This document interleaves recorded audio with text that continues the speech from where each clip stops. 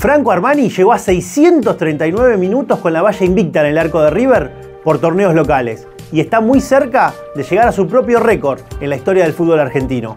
Vamos a repasar cuáles son los 5 mejores arqueros de la historia de River que lograron más minutos con la valla invicta. El ranking solamente contempla los torneos locales y el puesto número 5 lo ocupa Javier Sodero. El arquero oriundo de Villa María alcanzó los 728 minutos sin recibir goles en el año 1994. El puesto número 4 es para Ángel David Comiso. El guardameta nacido en Reconquista llegó a una valla invicta de 760 minutos en la temporada 1992. El puesto 3 y el puesto 2 es para Amadeo Carrizo, ya que el ídolo y prócer riverplatense ocupa dos de los tres puestos del podio porque en ambas ocasiones llegó exactamente a los 789 minutos sin recibir goles. La primera en 1966 y la segunda en 1968.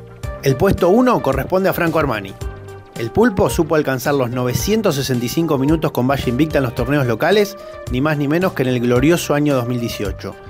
Actualmente está a 326 minutos de alcanzar esa marca. ¿Crees que podrá hacerlo? Te leemos en los comentarios.